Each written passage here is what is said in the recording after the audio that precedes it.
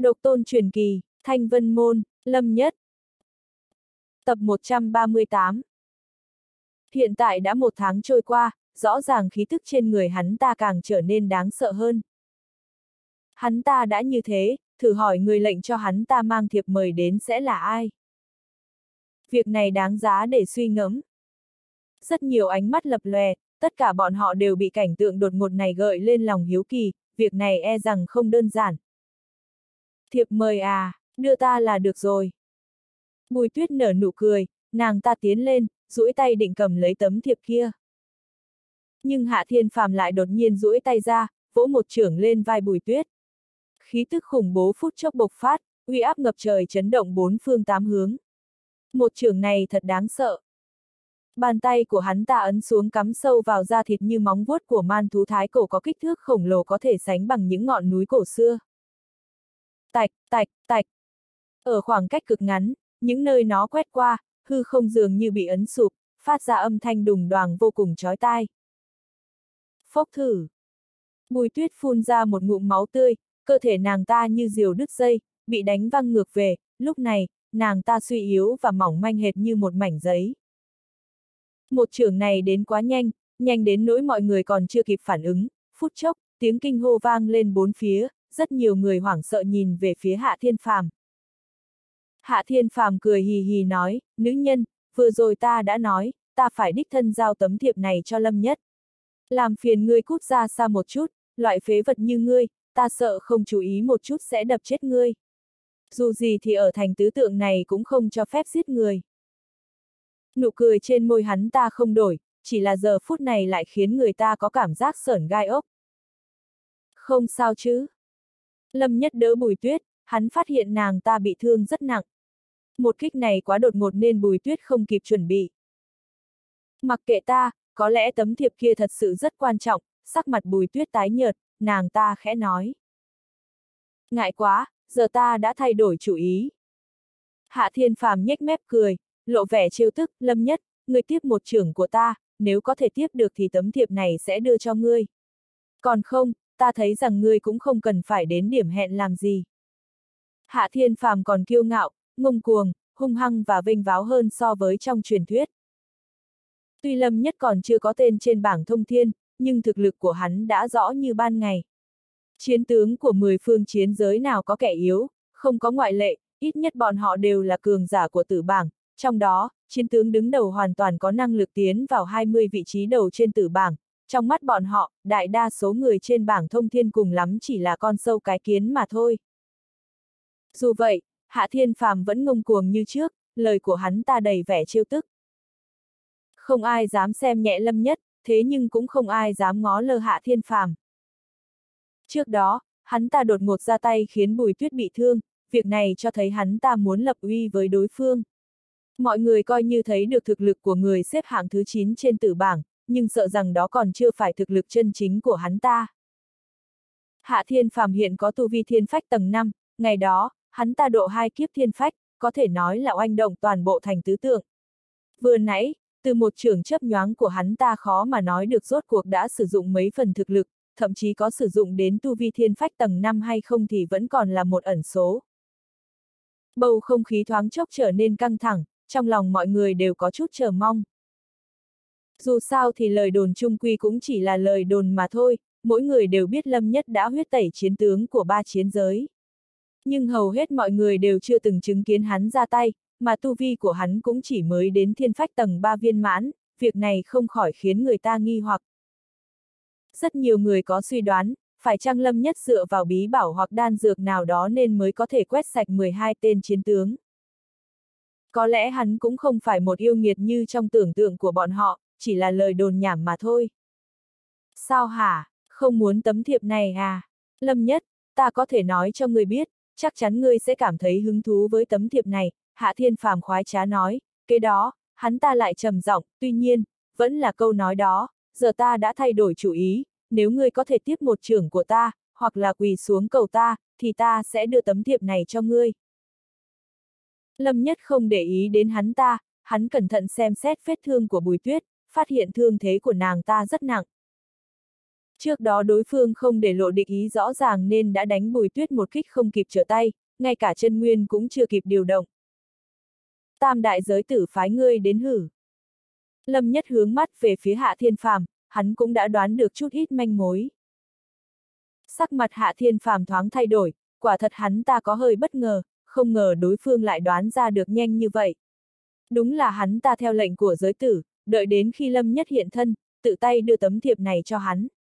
Nếu có cơ hội thì dò xét thực lực của người này một phen. Dù gì cũng xếp hạng thứ 9 trên tử bảng, cần gì phải làm chó cho thiên giới. Ánh mắt Lâm Nhất sâu thẳm, giọng điệu thản nhiên của hắn khiến người ta tức lộn ruột, dường như hắn chỉ đang trần thuật một sự thật đối phương là một con chó, chứ không hề dùng đến câu nghi vấn. Kẻ thức thời mới là Trang Tuấn Kiệt. Hạ Thiên Phàm thản nhiên nói, hiển nhiên chúng ta sẽ giáng xuống đại thế Côn Luân, đến lúc đó ngươi sẽ biết hạ giới và Côn Luân có sự chênh lệch lớn đến mức nào, nếu không tìm một chỗ dựa tốt thì chẳng còn lối thoát nào đâu. Nội tình của chiến giới sâu cạn như thế nào, bản lĩnh của giới tử đến đâu, ngươi vốn không biết gì cả, chỉ có loại đầu gỗ như ngươi mới kết thù cùng giới tử mà thôi. Mỗi người có trí riêng, Lâm Nhất cũng không ép buộc, chỉ trầm ngâm nói, để thiệp mời lại, ngươi có thể đi được rồi. Ta nói rồi, người phải tiếp một trưởng của ta mới được. Hạ thiên phàm sầm mặt, lạnh giọng quát. Hắn ta cảm nhận được sự thờ ơ của Lâm Nhất, dường như đối phương chẳng hề để hắn ta vào mắt, đối với khiêu khích của hắn ta, cảm xúc của kẻ này không mảy may dao động. Việc này khiến Hạ Thiên Phàm có cảm giác bị khinh thị, hắn ta vốn là một nhân vật yêu nghiệt độ liên tiếp hai kiếp thiên phách, nhưng Lâm Nhất lại luôn có một loại khí thế khó hiểu, cứ như bản thân hắn ta luôn thấp hơn đối phương một bậc.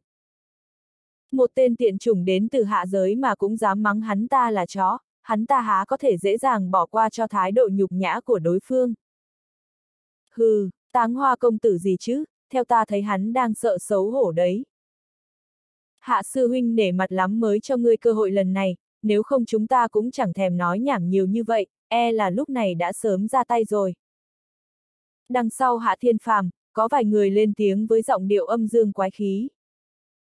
Tính tình lâm nhất cũng không tốt, đối phương ra tay làm bùi tuyết bị thương vốn đã hiến hắn rất tức giận. Nhưng dù sao nơi đây cũng là thành tứ tượng, có rất nhiều cường giả của tông phái siêu cấp đang âm thầm theo dõi, nên hắn mới cố kìm chế bản thân. Sau một thoáng trầm tư, Lâm Nhất nói, cũng được, tuy nhiên, Lâm Mỗ không thể không công bị đánh như thế được, đúng không? Hắn quả thật rất muốn biết trong thiệp mời viết những gì. Muốn luận bàn à, ta sẽ theo như ý muốn của ngươi. Hạ Thiên Phàm nhếch miệng cười, hắn ta cũng không cho rằng Lâm Nhất đối kháng với mình thì có bao nhiêu phần thắng. Dù có nghịch thiên thế nào thì cũng chỉ là tu vi thiên phách tầng thứ ba mà thôi. Trong khi đó, hắn ta cũng không phải nhân tài kiệt xuất thiên phách tầng năm bình thường, mà hắn ta là một yêu nghiệt có đại khí vận trên thân. Audio điện tử võ tấn bền. U u, sóng khí cuộn tròn, những người xung quanh lẳng lặng tản ra xa. Lâm Nhất cũng không khinh địch, hắn thúc giục Thương Long Thánh Thiên Quyết, ánh sáng thần văn từ bảo cốt Thương Long bừng lên, phút chốc, đã ngưng kết thành thánh giáp Thương Long. Nhìn thấy Long uy phát ra từ trên người đối phương, đồng tử hạ thiên phàm co mạnh, bảo cốt Thương Long. Vận khí của tên này đúng là không phải tốt bình thường, tuy nhiên, ta cũng không phải người không có cơ duyên, rút kiếm đi. Lâm Nhất thản nhiên nói, nghĩ nhiều rồi, tiếp ngươi một trưởng không cần thiết phải rút kiếm. Lòng hạ thiên phàm rét lạnh, lần này hắn ta thật sự cảm nhận được sự khinh khi của đối phương dành cho mình. Quả nhiên ngông cuồng, ta sẽ cho người một bài học, để ngươi biết sốt cuộc thực lực của người đứng thứ 9 trên tử bảng có bao nhiêu đáng sợ. Hạ thiên phàm không định hạ thủ lưu tình, hắn ta thi triển võ học mạnh nhất của bản thân, võ học tạo hóa cấp đế giả, lôi học, lôi điện tinh long trường. Trường mang thoáng chốc như thác nước từ trên trời chút xuống, tựa như ánh sao vô tận, ẩn chứa sức mạnh sấm sét, không ngừng đổ ập xuống, liên miên bất tận. Xíu, yêu yêu. Một trường này mang theo sức mạnh hồn hậu, phút chốc đã giết đến trước mặt lâm nhất. Nhìn thấy thác nước được hội tụ từ vô tận ánh sao trên bầu trời, hai mắt lâm nhất híp lại, quả thật vị xếp thứ 9 của tử bảng này có chút bản lĩnh. Võ học tạo hóa cấp đế giả này đã được hắn ta tu luyện đến cảnh giới đại thành đỉnh cao, còn cách viên mãn không bao xa. Nói cách khác, thực lực người này không kém bao nhiêu so với Lâm Nhất khi vừa ra khỏi bảo điện Thương Long, thậm chí còn mạnh hơn. Ở thời điểm đó, Lâm Nhất còn chưa nắm giữ được nhật diệu thần quyền, và chưa vượt lên tạo hóa, thêm vào đó là tu vi còn thấp, e rằng trong vòng 10 chiêu sẽ rơi vào thế bị động. Có điều, hiện tại Lâm Nhất đã xưa đầu bằng nay, ngay cả võ học thánh linh mà hắn cũng đã tu luyện đến cảnh giới nhập môn thì giờ đây, những võ học tạo hóa thế này dù có tinh diệu đến mức nào đi nữa, trong mắt hắn cũng chỉ là cái xác không hồn mà thôi. Bành!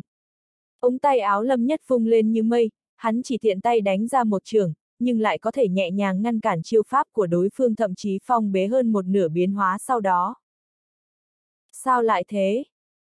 Sắc mặt Hạ Thiên Phàm lập tức thay đổi, hắn ta không dám tin đối phương có thể dễ dàng ngăn cản võ học tạo hóa cấp đế giả như thế.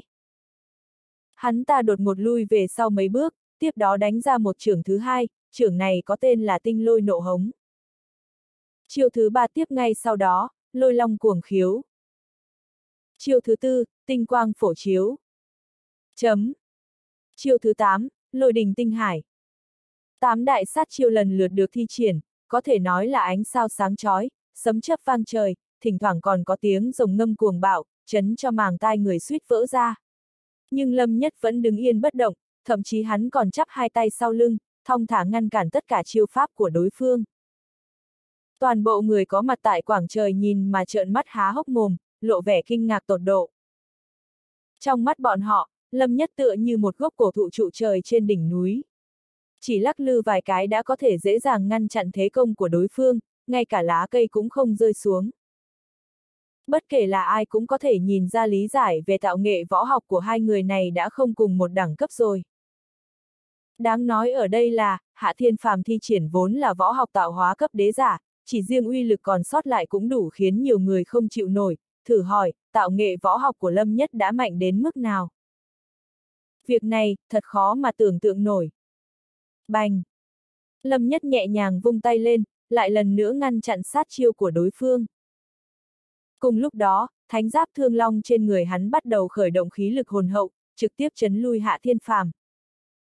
Tổng cộng ngươi đã đánh ra 9 chiêu, coi như đã dùng hết bộ trưởng pháp này, giờ đến lúc lâm mỗ ra tay. Lâm nhất không có hứng thú rằng co với người này, giờ hắn chỉ muốn xem thử rốt cuộc nội dung trong tấm thiệp mời kia là gì. Ta tiếp ngươi một trưởng là được. Hạ thiên phàm thẹn quá hóa giận, sắc mặt hắn ta liên tục thay đổi, thậm chí ngay cả cánh tay của đối phương mà hắn ta còn không ép ra được, việc này quả thật khiến người ta khó chịu. Tranh lệch giữa hai người họ thật sự quá lớn, tuy nhiên hắn ta tin mình vẫn có thể tiếp được một trưởng của Lâm Nhất. Vèo. Không ai thấy rõ động tác của Lâm Nhất, chỉ cảm giác một luồng gió mạnh đột ngột vụt qua, thoáng cái, Lâm Nhất đã đến trước mặt Hạ Thiên Phàm, duỗi tay ấn xuống. Một trường này thoạt nhìn rất bình thường, không có gì lạ. Nhưng lại khiến người ta có cảm giác dường như ánh sáng xung quanh bị cắn nuốt, hắn đứng ở đó tựa như bá chủ quân lâm thiên hạ, uy chấn ngân hà. Lâm Nhất còn chưa chính thức dùng đến võ kỹ, hắn chỉ vận dụng một ít lý giải đối với võ học thánh linh vào một trường này mà thôi. Xem như dùng dao mổ trâu để cắt tiết gà, tuy nhiên, đối phó với loại mặt hàng này thì như thế là dư xài. Trước vô số ánh nhìn chăm chú, một trường này vừa đánh xuống, chân nguyên hộ thể của Hạ Thiên Phàm lập tức nổ tung, kế đó lồng ngực hắn ta bị lõm vào, xuất hiện trường ấn, cả người hắn ta cong như con tôm luộc, kế đó là một loạt âm thanh chói tai vang lên. Hạ Thiên Phàm co rụt người lại, bị đánh bay ra ngoài, một tiếng bịch vang lên, hắn ta đã quỳ sụp trên mặt đất. Phốc thử. Máu tươi từ trong miệng hắn ta trào ra, Hạ Thiên Phàm chống tay xuống đất, đau đớn khiến mặt hắn ta co rúm lại. Khi lạnh đột một bao phủ khắp quảng trường, không ai ngờ được rằng Hạ Thiên Phàm, xếp hạng thứ 9 trên tử bảng, lại bại một cách thê thảm như vậy. Một chiêu. Chỉ một chiêu đã khiến Hạ Thiên Phàm quỳ sụp xuống, không đứng dậy nổi, ngay cả kêu đau cũng kêu không nổi. Giờ phút này, không còn ai dám hoài nghi thực lực của Lâm Nhất nữa, hắn có thể huyết tẩy 12 chiến tướng chắc chắn không phải dựa vào bí bảo hay ngoại vật gì khác. Vô số ánh mắt đổ dồn về phía hắn, từ tận đáy lòng bọn họ cảm thấy bị đả kích rất lớn. Thiếu niên này không nổi danh trên bảng thông thiên, nhưng sự hiện hữu của hắn lại áp đảo một loạt nhân tài kiệt xuất trên bảng thông thiên, có thể nói, người này gần như đứng đầu tử bảng, dưới kim bảng, hắn chính là ông vua không ngai. Lâm Nhất ngoắc tay, bắt lấy tấm thiệp mời đang lơ lửng giữa không trung. Đại hội sát yêu. Bốn chữ bằng máu thình lình xuất hiện. Đại hội sát yêu. Lâm Nhất lẩm bẩm đọc, nhìn chữ viết bằng máu trên thiệp mời, sắc mặt hắn dần tối sầm, nói, đây là máu của ai? Hề hề, người đoán xem. Hạ Thiên Phàm đang nằm dạp trên mặt đất nở nụ cười âm u, bất chợt, hắn ta lớn tiếng nói, nửa tháng sau, tam đại giới tử thần U, Thiên Càn và Huyền Long sẽ cử hành đại hội sát yêu tại thành Phong Lăng, hoan nghênh chư vị đến xem, ha ha. Đại hội sát yêu. Đó là gì, chưa từng nghe qua. Trên quảng trường vang lên âm thanh bàn tán, mọi người lộ vẻ nghi hoặc, tam đại giới tử muốn giết ai mà lại bày ra thế trận lớn như vậy. Lâm nhất, ngươi nhất định phải đến đấy, nếu không, e là không cách nào nhìn thấy mặt tình nhân cũ của ngươi lần cuối, Hạ Thiên Phàm nhếch mép cười, lộ vẻ trêu tức. Đây mới thực sự là trò hay. Thắng ta thì sao chứ? Nửa tháng sau, người vẫn phải ngoan ngoãn đến thành phong lăng chịu chết. Mọi người nhanh chóng hiểu ra, đây chính là dương mưu của tam đại giới tử. Thế nào là dương mưu? Chính là biết rằng đó là bẫy, nhưng Lâm Nhất vẫn phải nhảy xuống. Đại hội sát yêu vốn chỉ là một cái bẫy mà tam đại giới tử đào sẵn cho Lâm Nhất. Việc làm này khiến người ta cực kỳ phẫn nộ, nhưng lại không thể làm được gì. Ta hỏi đây là máu của ai? Lâm Nhất ngẩng phát đầu, trong mắt đột nhiên lóe lên tia sáng lạnh, một luồng sát ý quét qua bốn phía. Người đoán xem, Hạ Thiên Phàm cắn răng, hung tợn nói. Lâm Nhất vốn có tâm tính hơn người, rất ít khi xúc động, nhưng hiện tại hắn lại có chút mất kiểm soát. Cơ mặt hắn co giật, bàn tay phải đang nắm thiệp mời không ngừng run rẩy. Kế đó, cả người hắn run lên, sát ý khủng bố tựa như một làn gió thu ập đến, không cách nào thu lại được. Giận lắm à?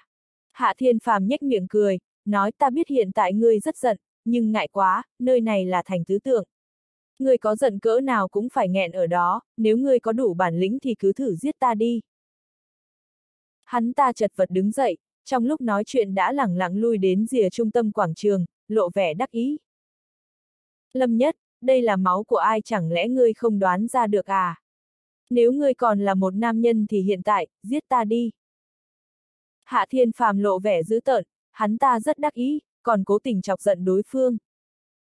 Chỉ cần lùi thêm một bước nữa, rời khỏi trung tâm quảng trường thì Lâm Nhất sẽ không cách nào đụng đến hắn ta được. Đừng nói là giết hắn ta, dù chỉ là ra tay với hắn ta thì cũng xem như trái với luật thép của thành tứ tượng. Một khi vi phạm lệnh cấm, nhẹ thì mất đi tư cách tham gia trận chung kết. Nặng thì lập tức bị giam giữ. Tên này đúng là ghê tởm, những người có mặt trên quảng trường đều nhìn Hạ Thiên Phàm bằng ánh mắt chán ghét. Đáng giận thật. Nếu là Lâm Nhất sợ rằng bọn họ sẽ tức mà hộc máu tại chỗ. Sao trên đời lại có người ghê tởm đến vậy chứ? Đúng là ức mà.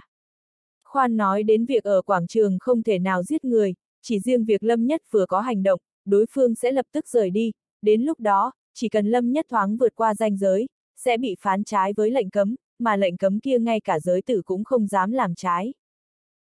Móng heo to, đừng mắc lừa. Trên gương mặt xinh đẹp động lòng người của bùi tuyết tràn đầy lo lắng, nàng ta bị thương nhưng vẫn cố sức gào lên. Hí! Sát ý vô biên tựa như trời đông giá rét, hồ nước rộng lớn tại quảng trường cũng dần bị đóng băng bởi sát ý bực này. Nhưng cuối cùng, Lâm Nhất không ra tay mà chỉ lạnh lùng nhìn về phía đối phương. Có người khẽ thở phào, cũng có người âm thầm lắc đầu, lộ vẻ bất lực. Thật sự hận. Bất kể là ai khi đối mặt với tình huống như vậy cũng khó mà nén được lửa giận, khó chịu nhất chính là không cách nào bộc phát cơn giận của mình được.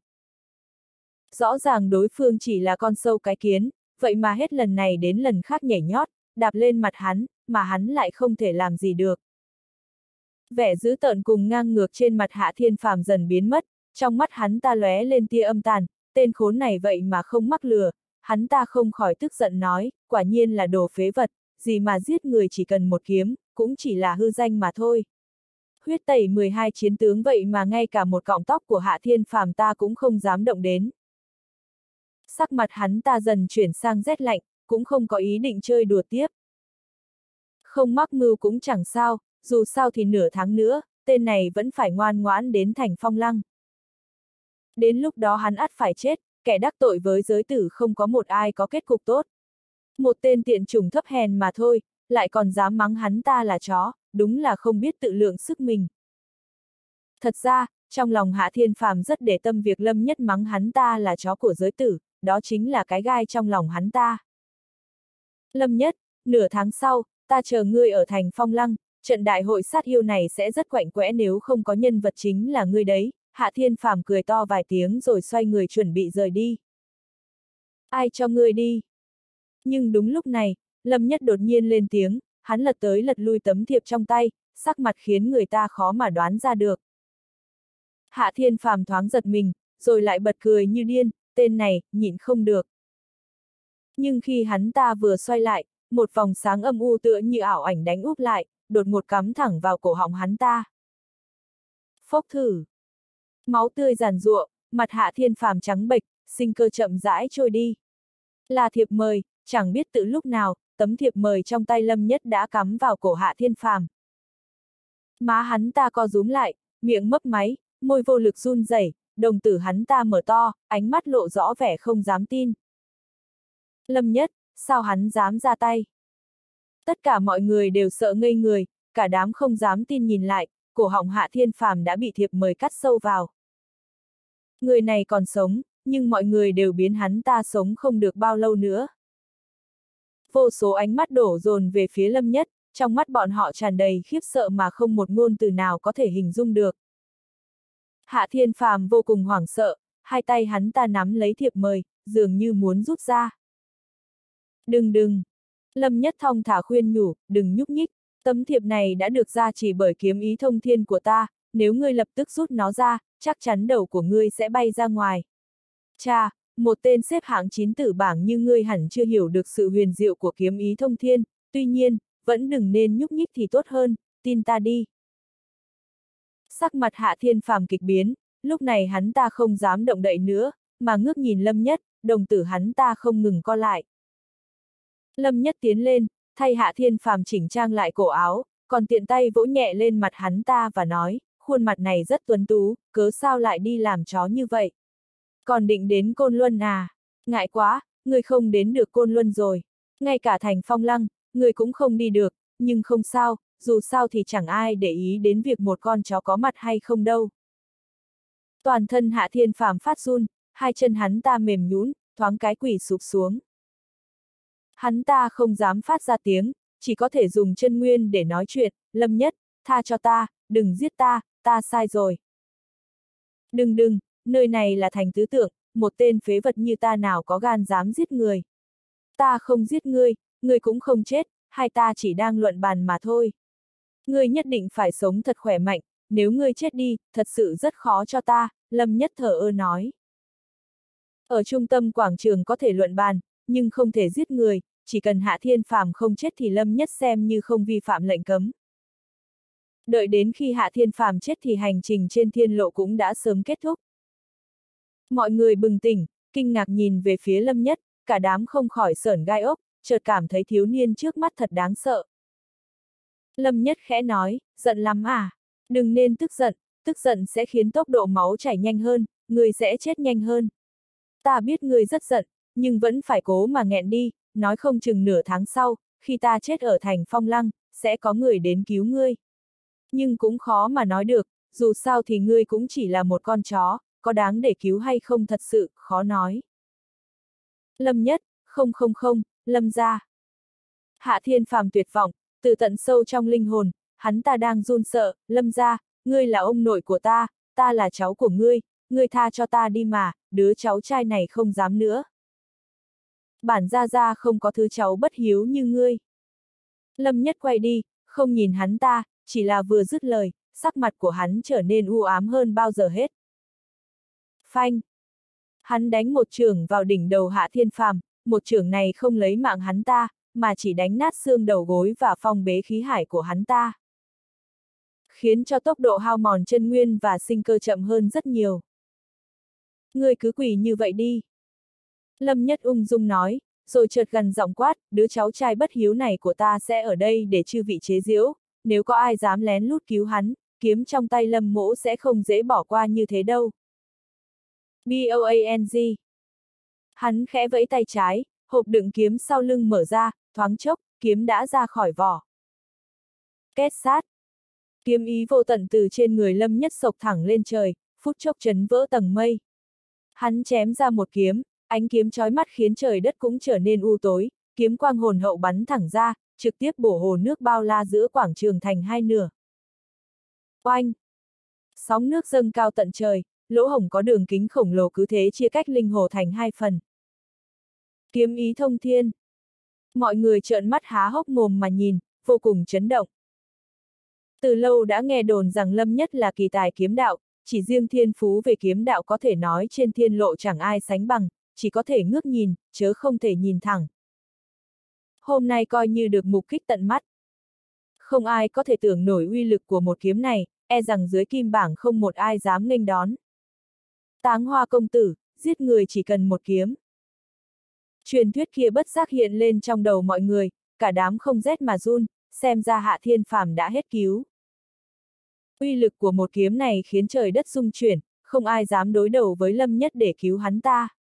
Huống chi hắn ta chính là một con chó khiến người chán ghét, một chút đồng tình cũng không có.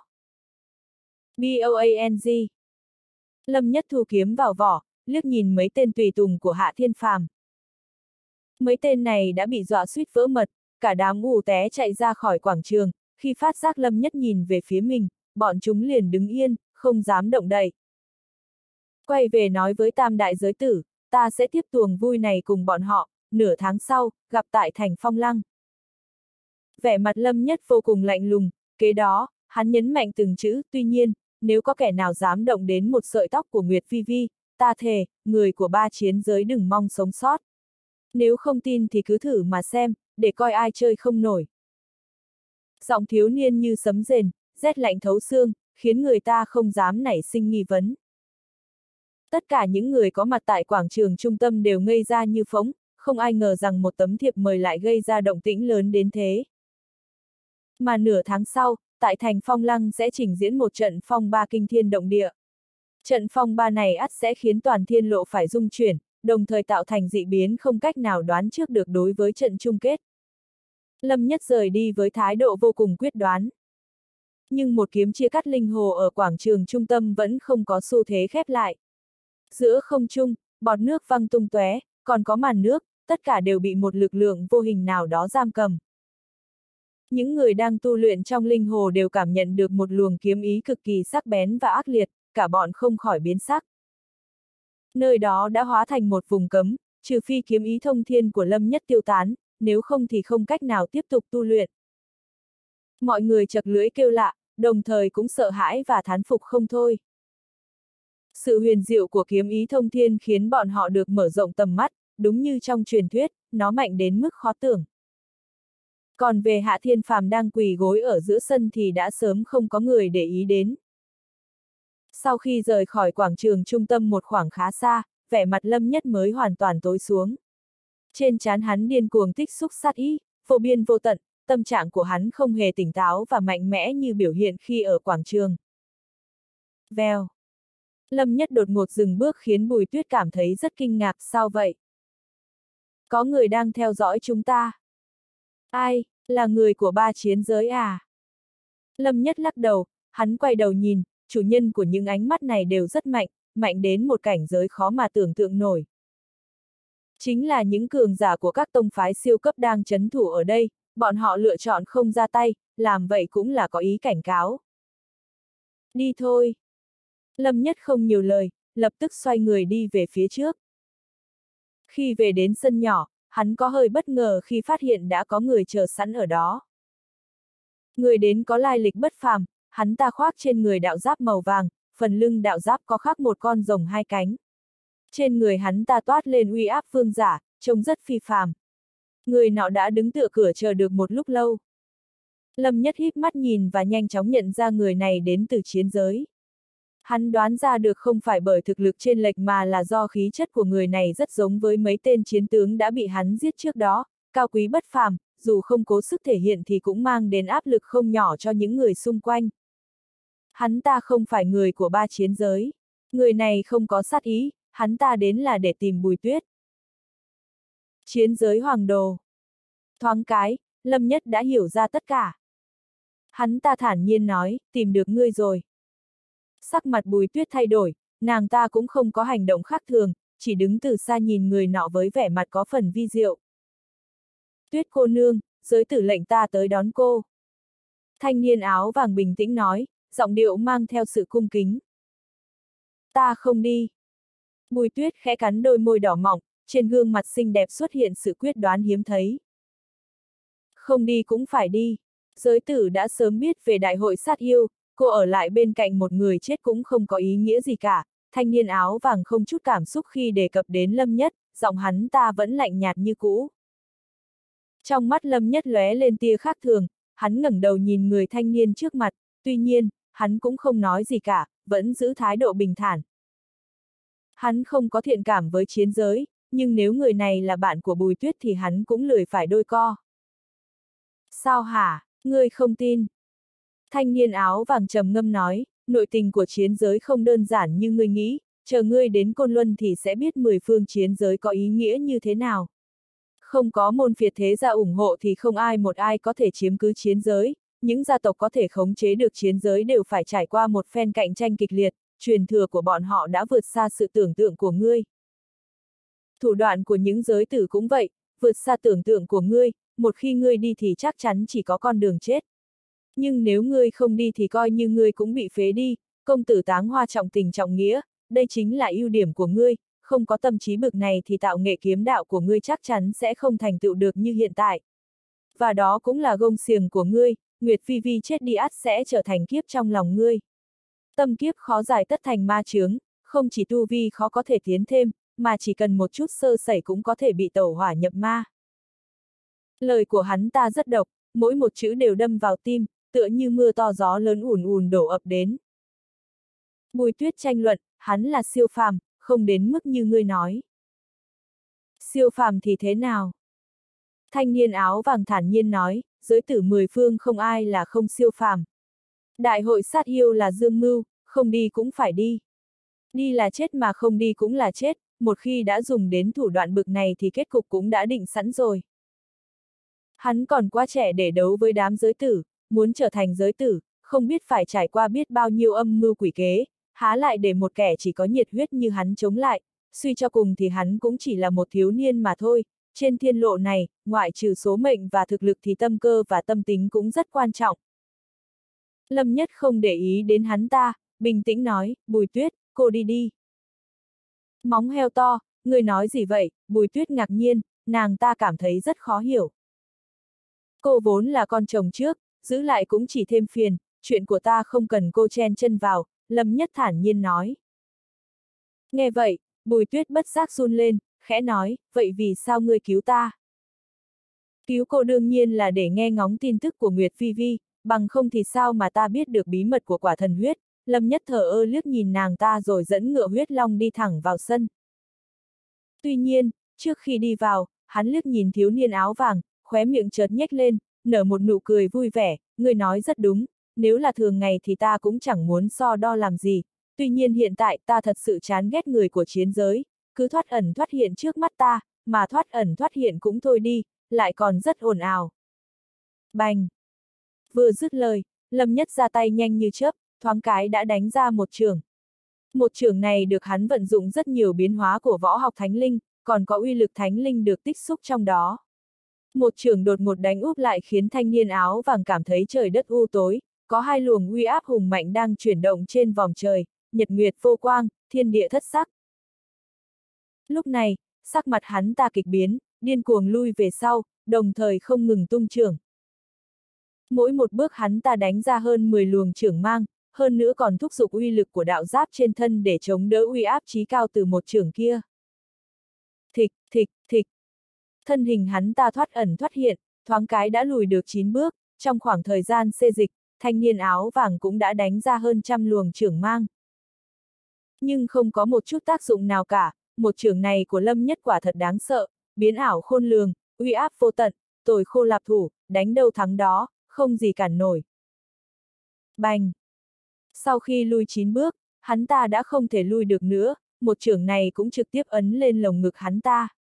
Một tiếng nổ kinh thiên động địa, khiến bốn phương tám hướng rung chuyển, thanh niên áo vàng phun ra một ngụm máu, cả người bị đánh văng ra ngoài, té mạnh trên mặt đất. Không thể trêu vào siêu phàm mà, tính tình đúng là kém thật. Khóe miệng thanh niên áo vàng dỉ máu, tuy nhiên, hắn ta cũng không giận mà cười nói, tuy nhiên, ta nói chẳng lẽ không đúng. Bất kể ngươi đi hay không đi thì cũng chỉ có một con đường chết, ngươi đã là phế nhân rồi. Ngươi nói rất đúng, nhưng liên quan gì đến việc ta đánh ngươi? Lâm Nhất lại vung tay lên. Sắc mặt thanh niên áo vàng đã hoàn toàn thay đổi. Tuy là hắn ta có mặc đạo giáp nhưng chịu một trưởng vừa nãy đã bị thương không nhẹ. Nếu lại thêm một trưởng nữa thì, sao được chứ? Chẳng phải sẽ trọng thương sao?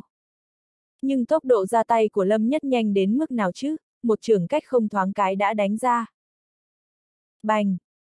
Phong lôi gào thét, điện quang gầm rú, uy áp hùng hậu phút chốc ập đến, thanh niên áo vàng không kịp phản ứng, bị dọa sợ chỉ biết nhắm tịt hai mắt lại. Nhanh quá! Hô!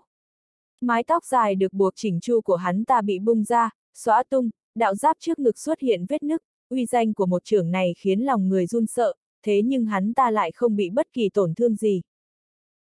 Thanh niên áo vàng lạnh run, hắn ta mở mắt ra, sắc mặt lúc này đã trắng bệch như tờ giấy. Thời điểm nhận ra bản thân không bị thương, hắn ta có cảm giác vừa sống sót qua tai nạn, sống lưng lạnh toát, lúc này, thanh niên áo vàng đã không còn thái độ bất kính, mà vội vàng nói cảm tạ. Cút đi, đưa nữ nhân này theo. Lâm Nhất phất ống tay áo, lạnh lùng nói một câu rồi đi thẳng vào sân, không hề quay đầu lại nhìn dù một cái. Phút chốc, xung quanh trở nên tịch liêu, hoang vắng.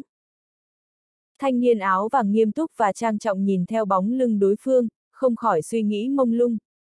Thiếu niên này đáng để kính nể. Đáng tiếc. Hắn ta lắc đầu, khẽ thở dài. Người cần gì phải nói khó nghe như vậy, sắc mặt bùi tuyết hết sức khó coi, hắn ta phẫn nộ nhìn về phía thanh niên áo vàng. Thanh niên áo vàng trầm mặc, không đáp. Là ta bảo hắn nói. Một âm thanh trong trẻo từ con phố bên ngoài sân vọng đến, tiếp đó, một người từ từ đi đến. Hắn ta khoác áo choàng, tóc đen như thác, ánh mắt sâu thẳm, phong thái hơn người, diện mạo bất phàm. Trường bào màu vàng trên người dường như khiến khoảng không xung quanh bừng sáng. Giới tử. Thanh niên áo vàng vội hành lễ. Người này chính là giới tử của chiến giới hoàng đồ, cao thủ kim bảng trên thiên lộ, và cũng là một trong những lựa chọn hàng đầu cho vị trí cao nhất tại trận chung kết.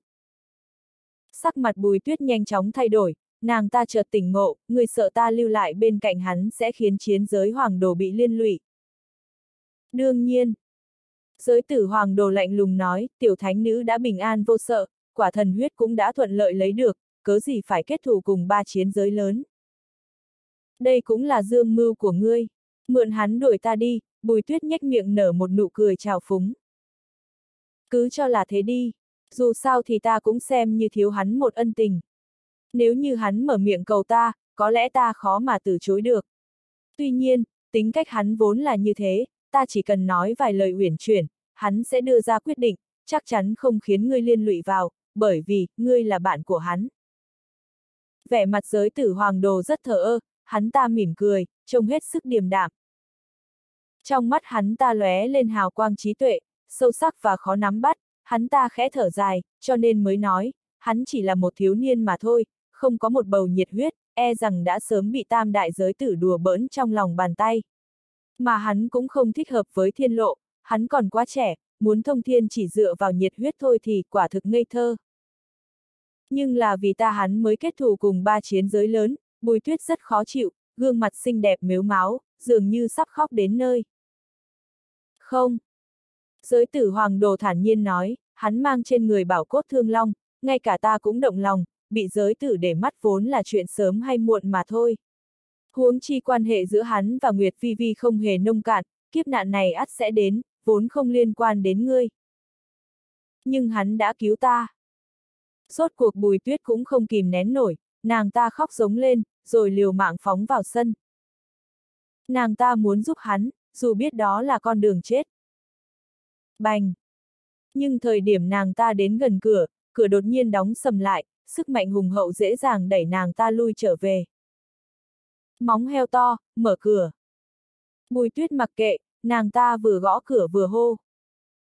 Giới tử hoàng đồ thở dài, ngăn nàng ta lại và thấp giọng nói, xem ra hắn thật sự xem ngươi là bạn, tiểu thánh nữ, đi thôi. Ngươi không thuộc về nơi này, còn về trận đấu này, ngay từ đầu hắn đã thua. Mặc cho bùi tuyết giấy dụa thế nào, cuối cùng, nàng ta vẫn bị giới tử hoàng đồ mang đi. Trước cửa thoáng chốc trở nên im ắng. Trong sân, ánh trăng như nước, chỉ có một thiếu niên lẻ loi, cô độc. Tay hắn siết chặt nắm đấm. Trên mái hiên, ngói lưu ly xếp chồng lên nhau, ánh trắng như nước đổ nghiêng xuống, lóe lên ánh bạc, dường như bởi lây dính xương lạnh đầy đất. Ánh trăng trên thiên lộ rất lớn, thoạt nhìn có vẻ rất gần, sẽ khiến người ta sinh ra ảo giác, cứ như chỉ cần nhảy lên là có thể dễ dàng nắm được nó trong lòng bàn tay. Lâm Nhất ngồi trên mái hiên, thất thần nhìn ánh trăng treo trên nền trời. Lời của thanh niên áo vàng rất ngoan độc, tựa như một cây kim độc vô tình cắm ở ngực hắn, cảm giác đau đớn này khó mà nói rõ được. Siêu phàm thì như thế nào? Đám giới tử cũng đều là siêu phàm, khẳng định ở thành phong lăng đã được bố trí kỹ lưỡng, tràn đầy sát cơ, sai lầm mà bọn họ đã phạm phải tại cao nguyên hoàng sa chắc chắn sẽ không tái phạm. Giới tử rất mạnh, mạnh đến mức lâm nhất cảm giác không có quá nhiều phần thắng, tam đại giới tử liên thủ thì áp lực gần như không cách nào tưởng tượng nổi. Nhưng hắn nhất định phải đến thành phong lăng, đây chính là điểm mấu chốt, cũng là tâm hướng kiếm của hắn, bảo hộ những người mà hắn thật sự để tâm. Con đường này quá khó khăn, hắn đã phải trả giá rất nhiều, cố gắng cùng gian khổ, trải qua sinh tử, đạt được rất nhiều cơ hội nhưng chỉ có thể miễn cưỡng đuổi theo bước chân của những người kia. Sự lớn mạnh của đám giới tử đã chú định trò chơi này ngay từ đầu không hề công bằng. Hắn suy nghĩ rất nhiều, trước mắt cũng xuất hiện vô số hình ảnh, những hình ảnh kia dung hợp cùng ánh trăng. Nhìn những hình ảnh này, gương mặt cứng đờ của Lâm Nhất dần trở nên dịu dàng, hắn đang nhớ lại thời còn trẻ ở Thanh Vân Tông. Còn có hình ảnh hắn và Nguyệt Vi Vi gặp nhau, và rất nhiều hình ảnh khiến hắn không tự chủ được nở nụ cười. Cảnh chuyến đi đến lăng tiêu kiếm các. Đó là thời tuổi trẻ ngông cuồng, nhiệt huyết bùng bổ, hắn đón gió truy kiếm, phóng ngựa như điên, hắn khiến cho tiếng phượng vút lên tầng mây, vang vọng khắp đại tần. Hắn cùng với các sư huynh đệ kiếm các cùng vui cùng buồn, cùng phát triển kiếm các ngày một lớn mạnh. Đột nhiên một hình ảnh lóe lên. Có người nằm trên đùi sư tỷ hân nghiên, máu tươi tựa như một đóa hồng mai kiều diễm nở rộ ở mi tâm. Đau quá! Lâm nhất ôm ngực, sắc mặt hắn trông đau đớn hơn bao giờ hết, hắn muốn vươn tay chạm vào những hình ảnh kia, nhưng mắt hắn đã bị sương mù chen kín, chỉ có thể thấp giọng rên rỉ. Kết sát! Tất cả hình ảnh phút chốc bị nghiền nát, tim lâm nhất dường như cũng vỡ theo, hắn gào lên, hân tuyệt đại ca. Hắn duỗi tay ra nhưng lại không nắm bắt được gì, chỉ có ánh trăng trên cao vẫn đang tỏa sáng. Trăng lạnh trường tồn, riêng ta cô độc. Đáng giận. Lâm nhất siết chặt nắm đấm, nhưng vẫn không kiềm được run rẩy, sắc mặt của hắn trở nên vô cùng dữ tợn, tơ máu trong mắt răng chẳng chịt. Hân tuyệt đại ca chính là vết sẹo ở sâu trong lòng hắn, không thể chạm đến, chỉ một thoáng nhớ lại cũng khiến hắn nổi giận. Đó là vết thương vùi tận đáy lòng, cả đời này sẽ không cách nào khép lại được. Nhưng rất nhiều chuyện xảy ra ngày hôm nay lại bất giác khiến hắn nhớ đến cái chết của hân tuyệt đại ca, cảm giác bất lực cùng tuyệt vọng, còn có thống khổ này. Chẳng lẽ Nguyệt Vi Vi cũng sẽ nối gót hân tuyệt đại ca? Không thể. Đó là người mà hắn để tâm. Hắn không cách nào quên được một khúc trường tiêu bên bờ Giang Hà, trợ giúp hắn đánh vỡ gông xiềng, không cách nào quên được hai người đồng sinh cộng tử, cùng trải qua nguy hiểm tại vực âm phong ở Thanh Dương giới, cũng không cách nào quên được thiếu nữ áo đỏ từng nói với hắn trong quần Long Thịnh Yến rằng, Vân ca ca, vận khí của huynh không tệ đâu. Hắn càng không quên được lời hứa của chính mình trên thiên lộ, chỉ cần là địch với cô, ắt sẽ là địch với ta. Máu chưa cạn, chiến không ngừng, vì quân rút kiếm, quyết không ngoảnh đầu. Lâm Nhất bình tĩnh lại, tơ máu trong mắt cũng dần rút đi, chỉ là lúc này, sắc mặt hắn trở nên kiên định hơn bao giờ hết. Trước đây hắn chỉ mong có thể nỗ lực hết sức, không để tiếc nuối là được. Nhưng lúc này đây, không chỉ riêng nỗ lực, hắn còn phải dùng tất cả thủ đoạn để cứu cho bằng được Nguyệt Phi Vi. Nhất định không để bi kịch lần nữa tái hiện, tuyệt đối không, Lâm Nhất âm thầm thề. Cộp cộp. Có âm thanh rất nhỏ vọng đến, Lâm Nhất quay đầu nhìn, là ngựa huyết long trong hình thái mèo, nó nhanh nhẹn leo lên chỗ hắn.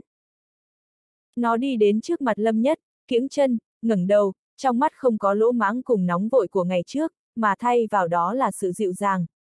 Nó cứ thế nhìn Lâm Nhất, kế đó, nắm chặt vuốt mèo thành quyền, đưa về phía Lâm Nhất. Đồ ngốc này! Lâm Nhất biết vì sao nó lại duỗi tay ra, là do vừa rồi cảm xúc của hắn dao động quá lớn, đã bị nó nhận ra.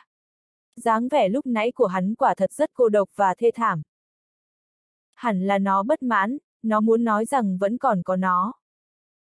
Đúng vậy, đạo của ta không cô độc. Lâm Nhất nhớ đến cảnh tượng một người một ngựa cùng trải qua sinh tử, bất cứ lúc nào, ngựa huyết long cũng ở bên cạnh hắn, cùng hắn nếm trải gian khổ, thậm chí nó còn chết qua một lần.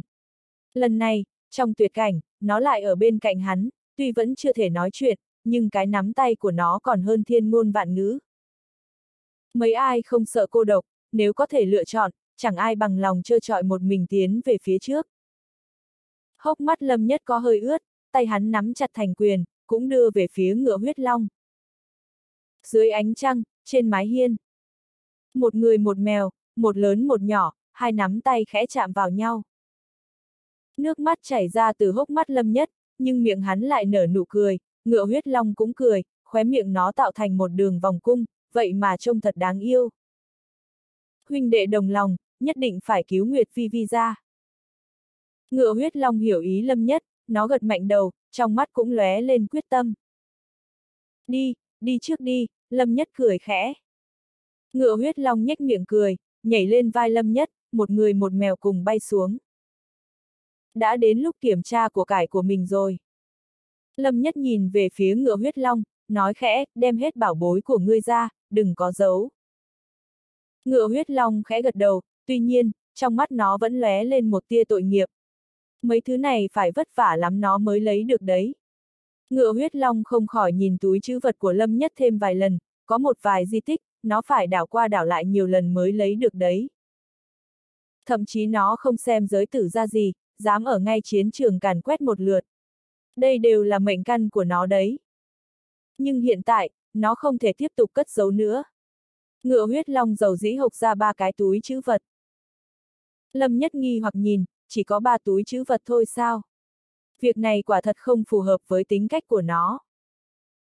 Hắn tiện tay lấy một cái túi chữ vật, lắc lắc mấy cái rồi đổ hết ra. ầm ầm, Mặt đất lập tức chấn động, hàng hà sa số đan tinh thần trồng chất thành núi, tỏa ra ánh lửa hừng hực, khí tinh nguyên hùng hậu đến mức dọa người, khiến khoảng trời đất xung quanh gần như được phủ lên bởi vô số màu sắc, quá sức rung động, khiến người ta chỉ biết nghẹn họng nhìn chân chối. Lâm nhất sừng sốt, quả thật hắn không tưởng tượng nổi. Đếm sơ qua cũng có ít nhất hơn 5 vạn viên, thậm chí còn hơn thế nữa. Trời ạ, sao ngươi làm được điều này? Lâm nhất trợn tròn mắt, hít vào một ngụm khí lạnh, lồng ngực vô thức căng phồng lên. Ngựa huyết long nhe răng cười, vẻ mặt đáng thương vì tiếc của thoáng cái bay biến đâu mất, giờ trông nó vô cùng đắc ý. Nó chít chít liên hồi, cộng thêm bốn chi không ngừng khua lên, thông qua đó, Lâm Nhất cũng đại khái hiểu ra. Ngày đó, trận huyết chiến tại Thánh Đàn, túi chữ vật của 12 tên chiến tướng, kể cả chiến tướng đứng đầu, đều bị nó cuỗm đi ngay trước mắt giới tử. Ngoài ra, còn có một ít bảo vật mà nó tìm được trong bí cảnh, phần còn lại chính là mấy cái túi chữ vật mà Lâm Nhất chướng mắt, tất cả đều bị nó cẩn thận thu dọn. Đừng thấy mấy cái túi, chữ vật này không có nhiều tài sản phong phú như túi chữ vật của chiến tướng mà khinh thường, chân mũi cũng là thịt, góp gió sẽ thành bão, tổng thu hoạch từ chúng cũng là một con số rất khoa trương. Ngựa huyết long bày ra dáng vẻ thượng đẳng, nó nhìn về phía lâm nhất, đôi mắt mèo láo liên lộ rõ ý cười, cứ như đang nói với hắn rằng, giờ thì biết sự lợi hại của ta rồi chứ.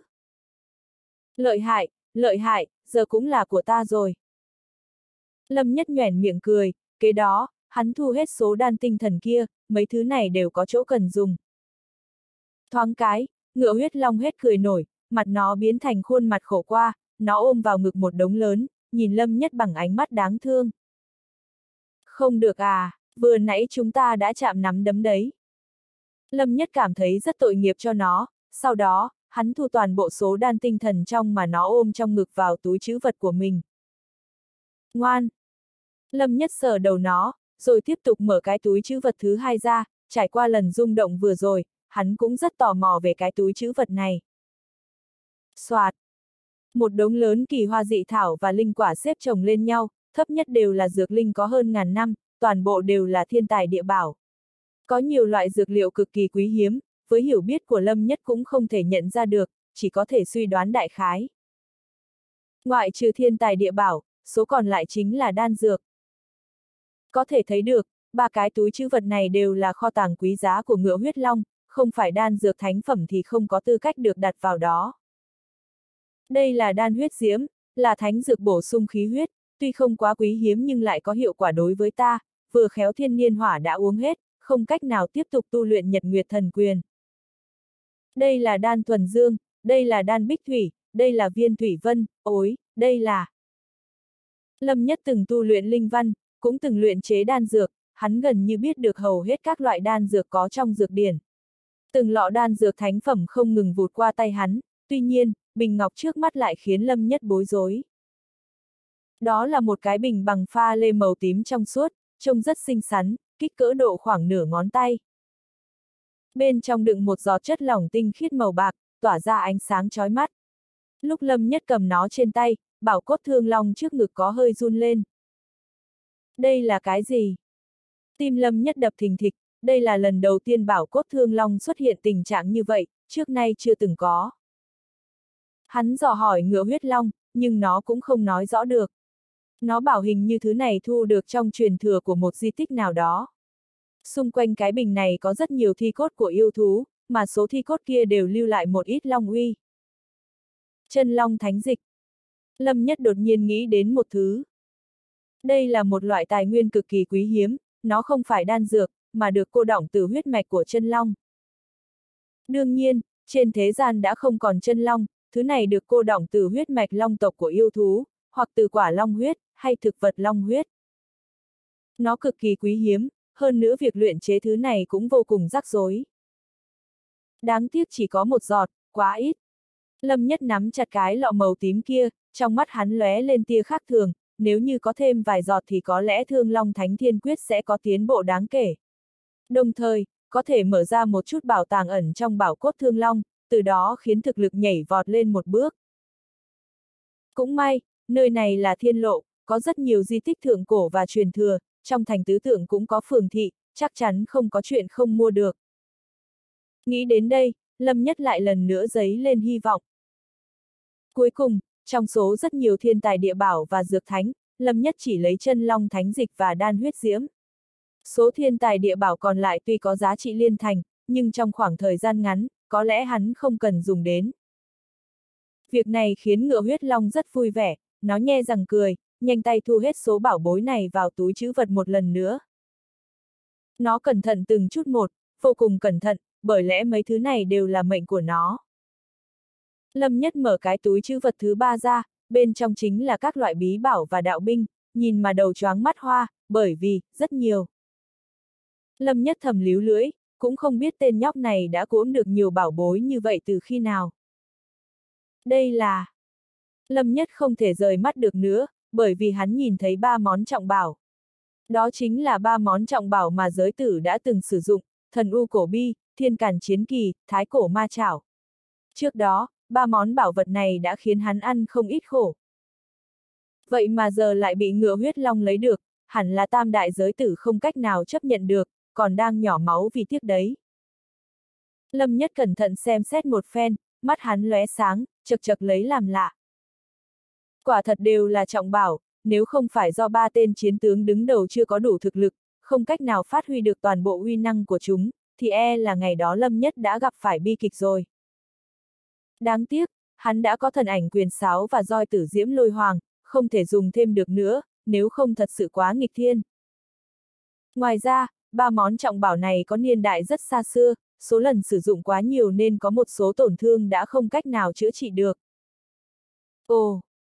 Trong mắt Lâm Nhất lóe lên tia khác thường khi nhìn vào tấm thần u cổ bi kia, hắn có thể cảm nhận được một luồng khí tức kỳ lạ từ nó. dường như tấm thần u cổ bi này có ẩn chứa bí mật gì đó. Cổ bi, ma chảo, chiến kỳ đều là trí bảo, tuy nhiên cổ bi lại khiến Lâm Nhất có cảm giác niên đại của nó dường như xa xưa hơn. Nhớ ngày đó trong tấm cổ bi này có phong ấn một tàn hồn, tàn hồn đó có thực lực cực kỳ khủng bố, hắn khống chế chiến mâu, chỉ một kích đã đẩy lui Lâm Nhất, mang đến phiền toái rất lớn cho hắn. Ông! Lâm Nhất thử điều khiển cổ bi, nhưng nhận ra có một lực phong ấn vô hình ngăn cản hồn lực của hắn thăm dò bên trong. Xem ra nếu không có pháp môn tương ứng thì không cách nào điều khiển được thứ này, trừ phi dùng cường lực từ bên ngoài mạnh mẽ phá giải. Tuy nhiên, với tình cảnh của Lâm Nhất hiện tại thì việc này không hề dễ. Hắn liếc nhìn thêm vài lần, văn tự trên cổ bi cực kỳ tà dị, cứ như một lỗ đen có thể cắn nuốt hồn phách của người ta vậy. Nói không chừng tấm cổ bi này thực sự có thể hút lấy hồn phách và phong ấn. Lâm Nhất lẩm bẩm, nếu thế, cũng có thể giải thích được vì sao nó có thể phong ấn tàn hồn thượng cổ được rồi.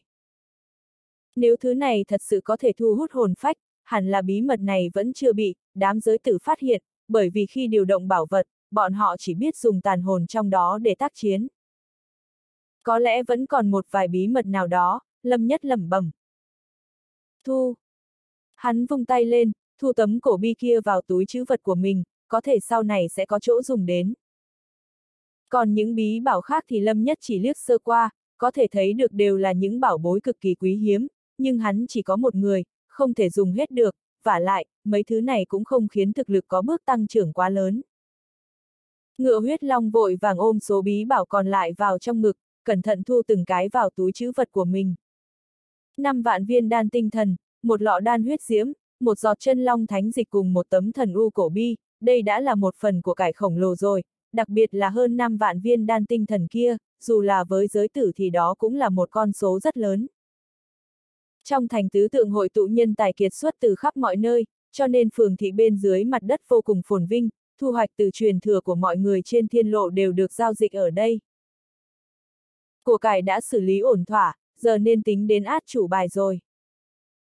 Kiếm ý thông thiên, bảo cốt thương long, nhật nguyệt thần quyền, trảm thiên tam kiếm, đây là bốn át chủ bài lớn nhất trong tay lâm nhất, còn hai món đạo khí cổ xưa là thần ảnh quyền sáo và roi tử diễm lôi hoàng chính là đòn sát thủ. Hai món tuyệt phẩm đạo khí này có thể phối hợp sử dụng, khiến cho uy năng của từng món được thôi phát đến cực hạn, dung hợp cùng nhau thậm chí có thể bộc phát ra uy năng đạo khí siêu việt. Ngoài mấy thứ này ra còn có tứ đại võ hồn, trúc long, cung kỳ, đăng xa, côn bằng, đây chính là bí mật lớn nhất của Lâm Nhất ở thời điểm hiện tại. Tiếp đó là thương khung thánh y, thứ mà thương long chi chủ ban cho hắn để đối phó với mấy lão quái vật, đó là một món trí bảo vô thượng, có uy năng cực kỳ đáng sợ. Một khi dùng đến, đừng nói là tam đại giới tử, dù là giết đến hang ổ của mấy lão quái ở chiến giới kia cũng có thể quậy một trận lật trời. Nhưng khuyết điểm của nó quá lớn, không thể chủ động thi triển, chỉ khi đến thời điểm sinh tử mới có thể sử dụng. Một khi chủ động dùng đến ắt phải trả một cái giá cực lớn, hơn nữa, nói không chừng sẽ khiến các tông môn siêu cấp để mắt đến. Hiện tại, Lâm Nhất cũng không tín nhiệm những tông phái siêu cấp kia, khó mà đảm bảo được bọn họ không động lòng với thương khung chiến y. Khoan đã, chắc chắn bọn họ sẽ động lòng với thương khung chiến y. Không dùng thì hẳn là còn có một con đường sống, một khi dùng đến, chắc chắn khó thoát khỏi cái chết. Đây là thủ đoạn mà vạn bất đắc dĩ không thể dùng đến. Sắc mặt lâm nhất thoáng trở nên nghiêm trọng, nếu như không có thương khung chiến y thì những át chủ bài mà hắn dựa vào, dường như vẫn chưa đủ. Nhật Nguyệt Thần Quyền và Bảo Cốt Thương Long phải tiến thêm một bước nữa mới được, hơn nữa, trong vòng nửa tháng, hắn phải tăng tu vi lên đến thiên phách tầng 4. Lâm Nhất cảm thấy đầu to ra, có quá nhiều chuyện đan xen vào nhau. Vốn dĩ trận chung kết chỉ còn hai tháng nữa sẽ đến, làm những việc này hẳn là vẫn đủ, nhưng giờ lại phải hoàn thành trong nửa tháng, mà còn phải hoàn thành một cách chậm rãi, không được vội vàng sao động. Bất kể là võ học thánh linh phản phệ hay độ kiếp thất bại cũng đều sẽ mang đến tai họa ngập đầu. Lâm Huynh, La Trấn, khu vực Thương Long, cầu kiến. Đúng lúc này, ngoài cửa chợt vang lên âm thanh quen thuộc, Lâm Nhất thoáng sững sờ, kế đó hắn bảo ngựa huyết long ra đón La Trấn vào. Đi cùng hắn ta còn có Tần Lâm và quân Mộng Trần, từ trước đến nay, ba người này vẫn luôn hành động cùng nhau nên Lâm Nhất cũng không quá bất ngờ. Tìm đến nơi này bằng cách nào, Lâm Nhất thở ơ hỏi. La Trấn nhìn về phía Lâm Nhất, phát hiện đối phương bình tĩnh hơn so với trong tưởng tượng của mình, khẽ nói, chuyện thành phong lăng đã xôn xao khắp thành, muốn tìm đến nơi này cũng không khó, chúng ta có chút bận tâm huynh nên đến xem thử. Lâm Nhất cười nói, trong mắt người ngoài, hẳn là ta chỉ có một con đường chết, vậy mà ba vị vẫn chịu đến gặp ta, khó cho ba vị rồi. Tại Bảo Điện Thương Long, huynh đã cứu mạng chúng ta, hơn nữa cũng cho ta cơ duyên lớn nhất Thương Long. Về tình về lý, ta nên đến. Ta biết huynh nhất định sẽ đến thành phong lăng, có chuyện gì cần hỗ trợ, huynh cứ việc nói với chúng ta là được, La Trấn nói với giọng khẩn thiết. Lâm Nhất lắc đầu, chuyện thành phong lăng có liên lụy quá lớn, hắn cũng không muốn lôi người khác vào. Nếu không, hắn đã không đuổi bùi tuyết đi. Tần Lâm cười nói, người chớ hiểu lầm, chúng ta sẽ không đến thành phong lâm, thực lực của chúng ta cố lắm chỉ có thể giao đấu với chiến tướng, không thể giúp gì nhiều cho ngươi, thậm chí có thể sẽ gây cản trở. Tuy nhiên, nếu ngươi có việc gì khác cần hỗ trợ thì cứ mở miệng, ở trong thành tứ tượng, tam đại giới tử cũng không có cách gì với chúng ta. La Trấn lộ vẻ nghiêm túc, nói, ở trên thiên lộ, chúng ta đã dùng hết toàn lực, giành được cũng chỉ là điểm khởi đầu đại thế của những người khác. Chỉ thế đã phải trải qua cửu tử nhất sinh, trong khi đối với đám giới tử, đây chỉ là một hồi tôi luyện. Nhưng ngươi lại không giống với chúng ta, ngươi nhất định phải sống sót để đi đến cuối thiên lộ, nhất định phải sống sót và tiến vào phương đại thế kia. Lâm Nhất cảm nhận được sự ấm áp, trên thiên lộ quả thật vô cùng hung hiểm, đâu đâu cũng toàn là người lừa ta gạt. Nhưng trung quy vẫn có một vài người kiên trì thủ vững đạo nghĩa trong lòng. Đa tạ. Lâm Nhất trầm giọng nói, quả thật ta có một số việc cần các ngươi hỗ trợ. Ngươi cứ nói đi. Ta cần đan huyết diễm và chân long thánh dịch, càng nhiều càng tốt. Sắc mặt ba người la chấn thoáng thay đổi, không khỏi hít sâu một hơi. Đan huyết diễm là đan dược thánh phẩm, dùng để rèn luyện khí huyết, bồi dưỡng thân thể, có rất ít người cam tâm sang tay thứ này. Mà dù có sang tay thì giá cả cũng cao đến mức đáng sợ, một viên đan huyết diễm cần ít nhất trên trăm vạn viên đan tinh nguyên mới đổi được. Còn về chân long thánh dịch thì, thứ này đã không thể dùng từ hiếm có để hình dung được nữa, mà đó là chưa nói đến chuyện, dùng đan tinh nguyên chắc chắn không cách nào mua được. Trừ phi dùng đan tinh thần để giao dịch, nếu không sẽ không có ai bằng lòng sang tay chân long thánh dịch, mà lại số lượng quá ít, e rằng đối phương cũng không muốn trao đổi. Sau khi La Trấn Uyển chuyển nói rõ những vấn đề này, Lâm Nhất khẽ nói, nhìn vẻ mặt khó xử của các ngươi, ta còn tưởng là chuyện rắc rối gì, nếu chỉ vậy thì vấn đề cũng không lớn. Soạt. Lâm Nhất vẫy tay một cái, lấy ra hơn 5 vạn viên đan tinh thần, số đan tinh thần kia xếp chồng lên nhau hệt như một quả núi. Ba người la chấn sững sờ, bọn họ ngạc nhiên đến mức mặt dại cả ra, hoàn toàn không nói được lời nào. Này, cũng quá khoa trương rồi. Đan tinh thần và đan tinh nguyên rất khác nhau, cái trước cũng không thể xem như tiền để giao dịch được, bởi vì nó quá hiếm, chỉ có trong truyền thừa của di tích mới có. Bản thân nó vốn là trọng bảo, cần phải dùng một lượng lớn đan tinh nguyên mới có thể đổi được. Nhìn nhiều đan tinh thần như vậy, ba người có cảm giác đầu choáng mắt hoa, tay chân phát run, ngay cả hô hấp cũng trở nên rồn rập. Mãi một lúc lâu sau, La Trấn mới hoàn hồn, hắn hít sâu một hơi, rồi thở dài và nói, Lâm Huynh đúng là tin tưởng chúng ta. Huynh không sợ chúng ta cầm đan tinh thần bỏ trốn à? Dù sao thì trong thành tứ tượng này, Huynh cũng không làm gì được chúng ta. Vậy thì coi như ta đã nhìn sai người, Lâm Nhất mỉm cười, vẻ mặt hắn hết sức thản nhiên. Ở thời điểm hắn tuyệt vọng nhất, khi mà mọi người đều cảm thấy hắn chắc chắn sẽ chết, ba người này vẫn bằng lòng đến trợ trận, chỉ riêng phần nhân phẩm ấy thôi đã đủ để tin tưởng. Quân Mộng Trần nói, Lâm Huynh yên tâm, chúng ta sẽ không lấy dù là một viên trong số đan tinh thần này. Trong vòng ba ngày, chúng ta sẽ giúp ngươi quét sạch toàn bộ đan huyết diễm và chân long thánh dịch trong thành tứ tượng. Có nhiều đan tinh thần như vậy, chắc chắn có thể đấu được với tam đại giới tử một trận, tần lâm siết chặt nắm đấm, hai mắt tỏa sáng. Nghe vậy, lâm nhất cũng không nhiều lời, hầu hết số đan tinh thần này đến từ 12 chiến tướng, là tôi tớ mà chiến tướng đã có nhiều đan tinh thần như vậy, chắc hẳn đám giới tử cũng có nội tình không sai biệt. Chỉ dựa vào đan tinh thần mà muốn tranh cường với giới tử là điều không thể, nhiều lắm là có xuất phát điểm tương đồng với bọn họ mà thôi. Thứ mà hắn chính thức dựa vào vẫn là bảo cốt thương long, nhật nguyệt thần quyền và kiếm ý thông thiên. Còn về đan tinh thần, chỉ có tác dụng ở thời điểm độ kiếp. Vậy thì việc này xin nhờ các ngươi rồi. Lâm Nhất trầm ngâm nói.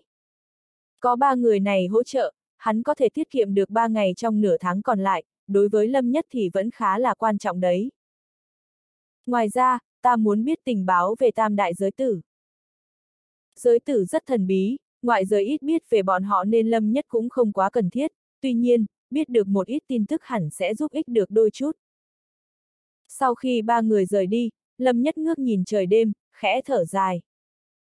Nửa tháng tiếp sau đó, hắn không muốn lãng phí bất kỳ khoảng thời gian nào, bất kể ra sao, hắn cũng quyết cứu cho bằng được Nguyệt Vi Vi. Hắn không cần gì cả, hắn chỉ muốn cứu đối phương ra mà thôi. Trước tu luyện Nhật Nguyệt Thần Quyền, Lâm Nhất lấy ra một cái bình ngọc, trong bình chứa 10 viên đan huyết diễm. Hắn lấy ra một viên và trực tiếp nuốt. Oanh! Khí huyết tăng vọt, Lâm Nhất tựa như một con cổ thú man hoang, mỗi một tấc da thịt dường như sắp bị thiêu cháy, trở nên đỏ sẫm. Nhiệt độ cực kỳ khủng bố từ trong cơ thể hắn bộc phát, hình thành ngọn lửa hừng hực thiêu đốt xung quanh hắn, trông vô cùng chói mắt. Lâm Nhất nhắm mắt lại, cảm nhận dược lực cuồng bạo trong cơ thể, một lát sau, hắn mở mắt ra, lẩm bẩm nói, quả nhiên còn kém xa thiên niên hỏa, nhưng vẫn miễn cưỡng dùng được. Tuy huyết khí như bão táp, nhưng loại huyết khí cỡ này dùng để tu luyện nhật nguyệt thần quyền thật sự rất hung hiểm. Chỉ mong ba người La Trấn có thể mua được nhiều đan huyết diễm một chút, hắn muốn dùng số lượng để thủ thắng. Khi dược lực gần như đã phát huy hết, Lâm Nhất mới khoanh chân ngồi xuống, vận chuyển tâm pháp nhật nguyệt thần quyền. Oanh! Kim ô và ngân hoàng gần ba thước từ trong cơ thể hắn bay ra, mang theo uy lực thánh linh khủng bố. Chúng bay lượn tựa như vương giả khống chế vùng trời đất này. Chúng truy đuổi và ganh đua với nhau, trông vô cùng sinh động, lông vũ toàn thân phát ra sánh sáng lóng lánh, chiếu sáng bốn phương. Thoạt nhìn, chúng tựa như thần thú vậy. Mỗi lần nhìn thấy hai tên này, Lâm Nhất đều cảm thấy bùi ngùi. Đạo võ học đúng là thần diệu, nếu không phải tự thân trải nghiệm, hắn có chết cũng không tin sẽ sản sinh ra thánh linh gần như tiếp cận sinh mệnh như vậy. Dù tam đại giới tử cũng có võ học thánh linh, nhưng chưa chắc có thể so với nhật nguyệt thần quyền. Lâm nhất là song linh đồng tu, hắn đã ký thác kỳ vọng rất lớn đối với nhật nguyệt thần quyền này đấy. Hiệu suất làm việc của nhóm La Chấn tương đối cao. Chỉ mới gần hai ngày đã giúp Lâm Nhất quét sạch số đan huyết diễm và chân long thánh dịch bên trong thành tứ tượng, đương nhiên thực hiện được việc này công lớn nhất cũng là từ 50.000 viên đan tinh thần kia. Đan tinh thần và đan tinh nguyên, chỉ khác biệt có một chữ, nhưng hiệu quả tu luyện lại khác một trời một vực. Bản thân nó vốn dĩ đã là một bảo vật quý giá, dùng đan tinh thần để mua đan huyết diễm và chân long thánh dịch, chỉ cần là người mà trong tay có hai thứ này thì chắc chắn sẽ động lòng. Dù gì Lâm Nhất đã dặn dò hai người này không tiếc bỏ hết vốn liếng cũng phải mua bằng sạch, thậm chí tăng giá lên gấp nhiều lần để mua. Ngoài ra, bọn họ mang đến một số tình báo của đám giới tử. Ba đại giới tử thần U, Thiên Càn, Huyền Long đều có tu vi thiên phách tầng thứ năm đại thành, ý chí võ đạo đều đã tu luyện đến cảnh giới cực kỳ cao thâm, hơn nữa người nào người nấy đều nắm được một số bí thuật. Nghe nói các giới tử trước khi bước lên con đường thông thiên, đều đã nắm được võ học thánh linh. La Trấn nói nhỏ, không dám đi nhìn sắc mặt của Lâm Nhất. Võ học của cấp thánh linh quá khủng khiếp, đã vượt qua cả tạo hóa.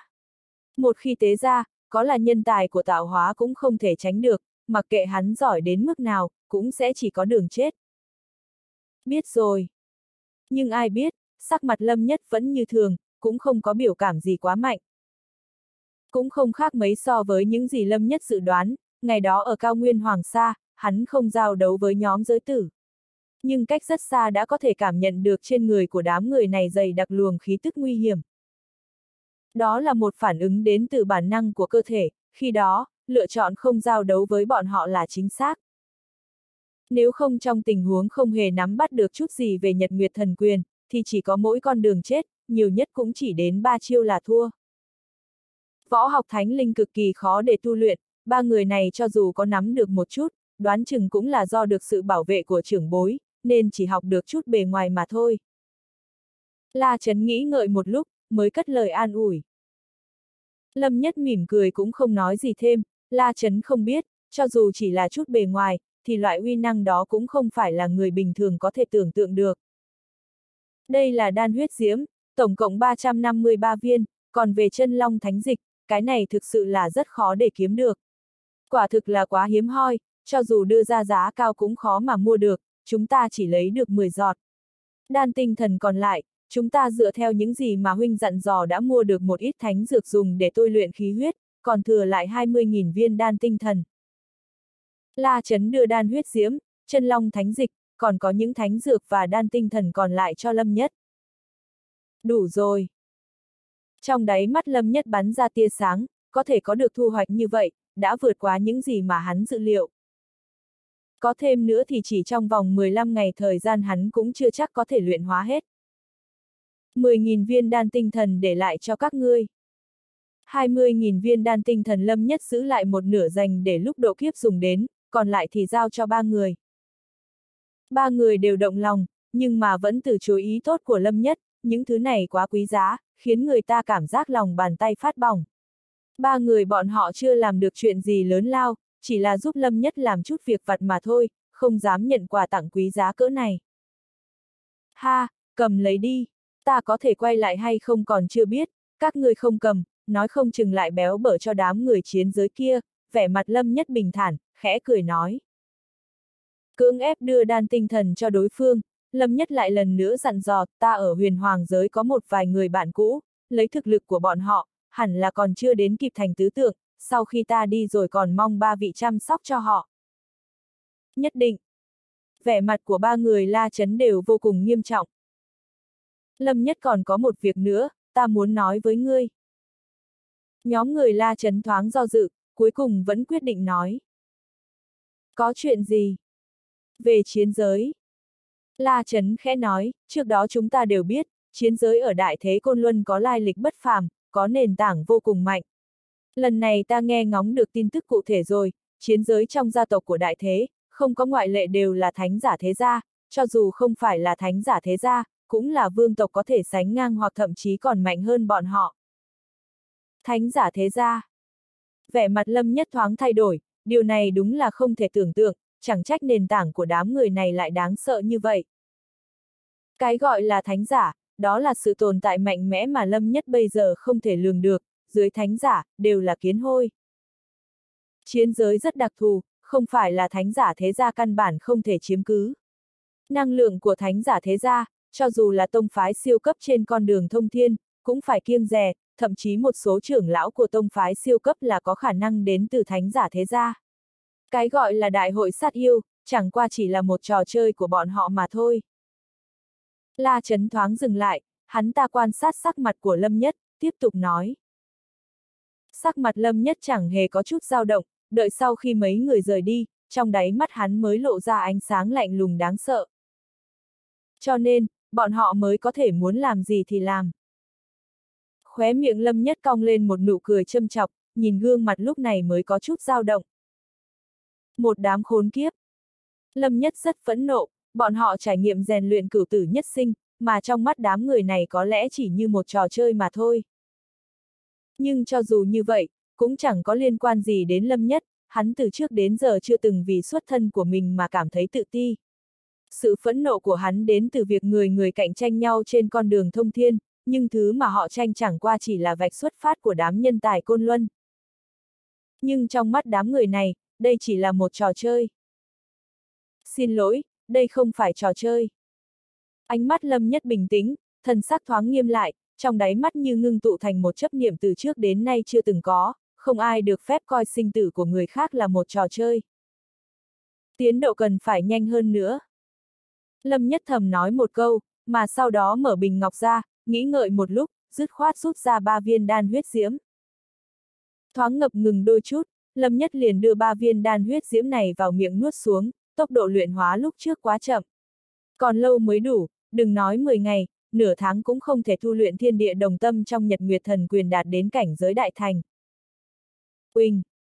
Cả cơ thể hắn lập tức như muốn bốc cháy, dòng máu nóng tựa như nham thạch sôi sùng sục, làn da lộ ra bên ngoài đỏ rực như màu máu tươi. Rác, rác, rác. Cả người lâm nhất từ trên xuống dưới đau như muốn nứt toác, nhục thân cùng xương cốt như thể đang bị luyện hóa, hai hàm răng của hắn nghiến chặt phát ra những tiếng ken két. Một tiếng gào thét, kim ô dài ba thước cùng ngân hoàng bay ra khỏi cơ thể, uy lực của thánh linh rào rạt lại lần nữa dáng thế. Thiên địa đồng tâm. Lâm nhất hét lên một tiếng, kim ô và ngân hoàng mang theo ánh sáng nhật nguyệt, hóa thành hai luồng sáng từ trên trời dọi xuống. Hai luồng ánh sáng đó, giống như giải lụa đổ xuống từ giữa bầu trời, vô cùng chói mắt, vô cùng đẹp đẽ. Hai luồng sáng mang theo thanh thế hào hùng, quấn quanh cánh tay của Lâm Nhất, không ngừng xoay tròn. Trước khi chuyển động, trời đất bắt đầu rung chuyển, giữa bầu trời có luồng ánh sáng đại nhật rào rạt như một ngọn núi sập xuống. Mặt đất mênh mông tựa như mặt hồ có ánh trăng vô biên vô tận dần dâng lên, hai luồng sức mạnh đồng thời rót vào trong tay hắn. Uỳnh!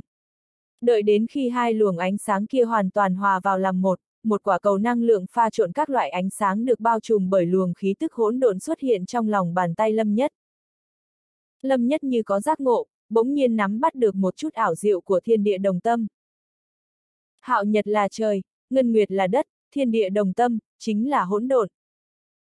Khi trời và đất còn chưa được khai mở, lúc đó mọi thứ đều là hỗn độn, chuyện này vốn chỉ là một truyền thuyết, nhưng bây giờ Lâm Nhất đã có chút tin tưởng.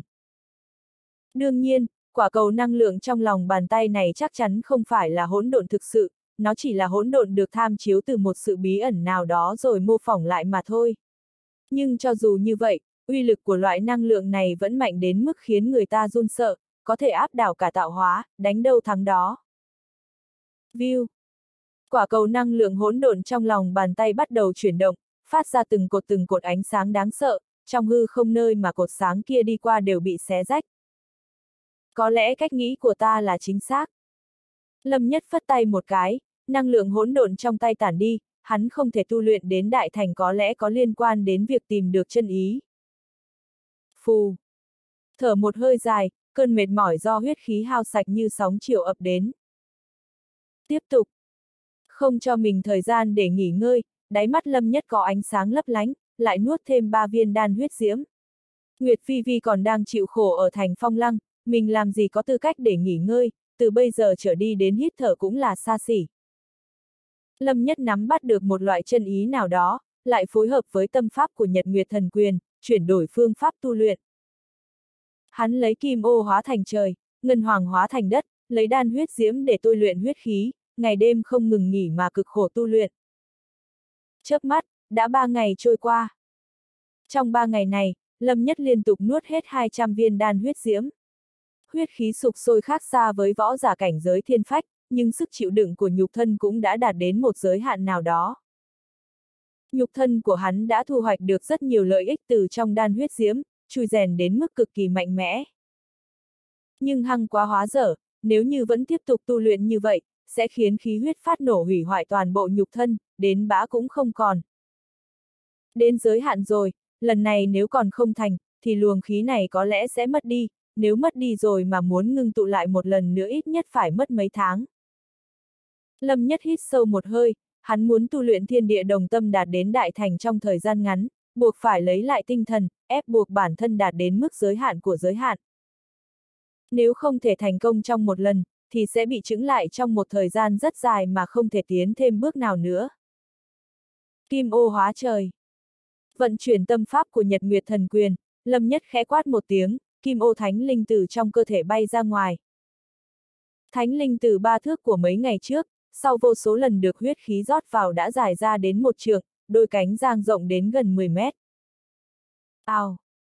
Thánh linh kim ô bay lượn vòng vòng trên bầu trời, từng vòng từng vòng ánh sáng màu vàng kim đổ xuống, giờ phút này thánh uy ngập trời. Ánh sáng kia nhuộm cả bầu trời thành một bức tranh ánh sáng vàng kim, bầu trời trong xanh như được gột rửa mà trở nên trong vắt, trên bức tranh ánh vàng kim này còn có những vì sao điểm xuyết. Ngân hoàng hóa đất.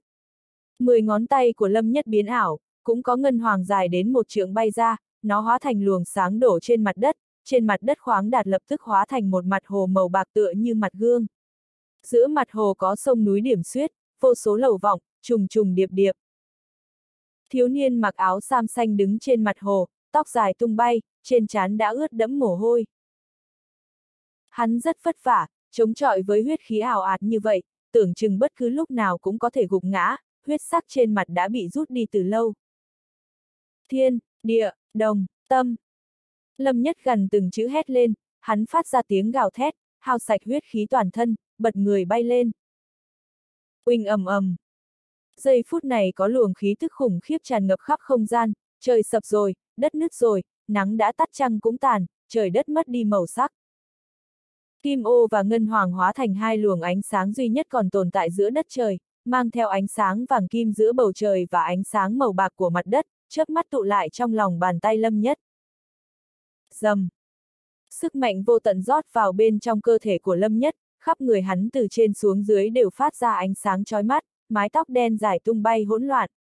Lòng bàn tay như có vô số khí lưu của hỗn độn đang dục dịch, giống như có sức sống, giống một trái tim đang đập bình bịch bình bịch, luồng sức mạnh giạt rào bên trong nó như đang run rẩy. Dầm, dầm, dầm. Trong lúc trái tim đang đập, trời đất bỗng rung chuyển dữ dội, luồng khí tức phẳng lặng mà đáng sợ không ngừng sâu thêm. Thành công rồi, thiên địa đồng tâm đại thành. Trên gương mặt tái nhợt của Lâm Nhất lộ ra vẻ vui mừng, đáy mắt tràn ra ánh sáng hưng phấn. Tán. Lại một tiếng hét khẽ, Lâm Nhất tán đi năng lượng hỗn độn thuần túy trên tay mình, bầu trời mờ tối lập tức sáng bừng. Một quyền này hắn vẫn chưa dám nện ra, một khi nện ra, thì sẽ không chỉ đơn giản là phá hủy một vùng viêm mạch bên dưới lòng đất ở đây. Những sân vườn nhà cửa ở khu vực xung quanh đến một nửa khu vực thành phố quanh đây cũng rất có thể bị hủy hoại, sức mạnh ẩn chứa bên trong đó khiến Lâm Nhất còn cảm thấy vô cùng sợ hãi.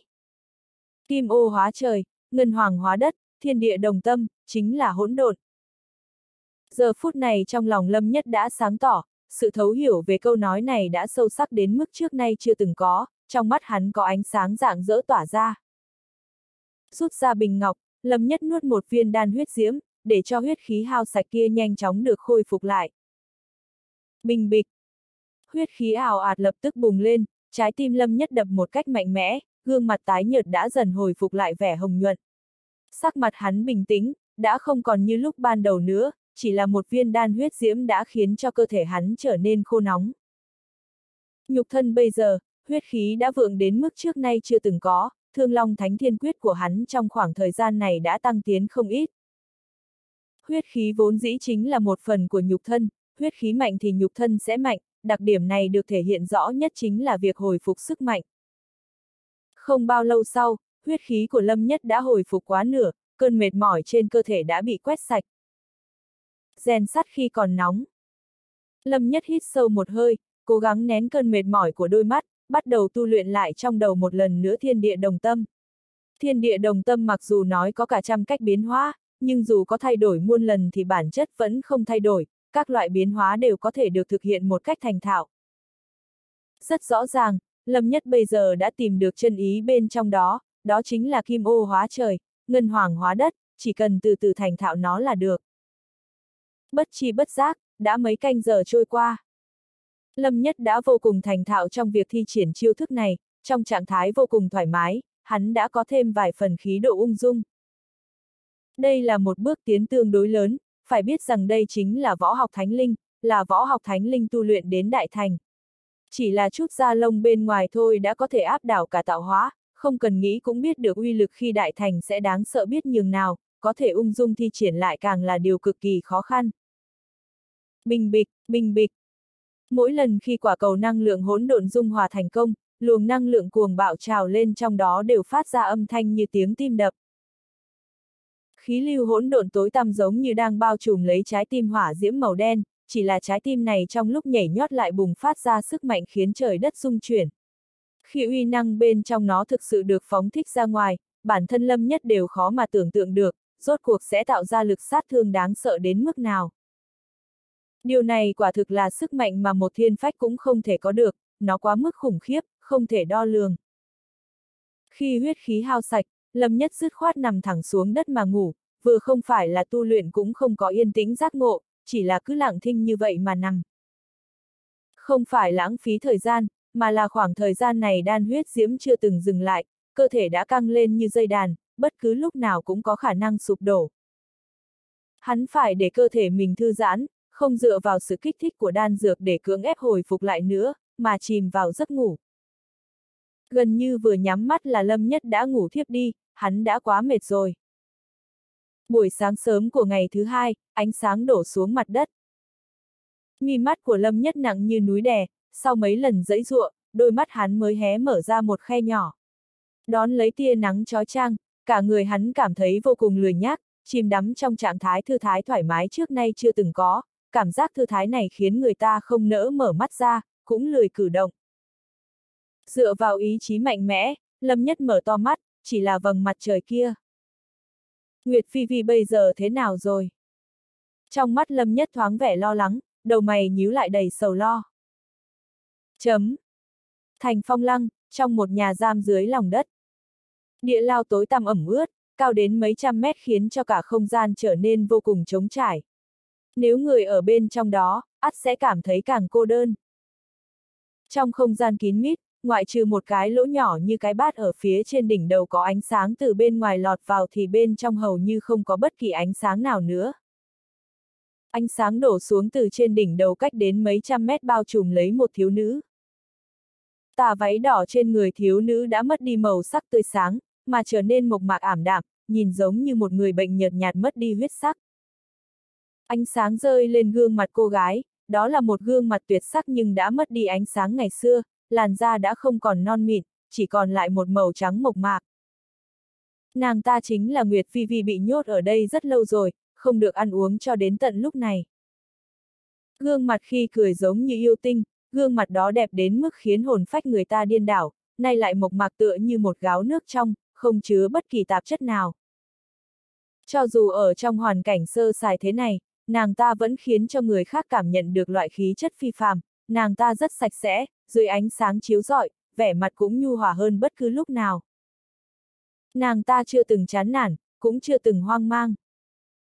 Nàng ta ngẩng đầu nhìn lên lỗ hổng trên đỉnh đầu, lòng thầm cầu nguyện, mẹ, đợi con trở về, người sẽ có thể tỉnh lại. Nghĩ đến đây, khóe miệng khẽ cong lên mỉm cười, dịu dàng mà ấm áp. Sạt, sạt. Tiếng bước chân từ bên ngoài vang lên, Nguyệt Phi Vi thoáng thay đổi sắc mặt, chỉ âm thầm quay lưng lại.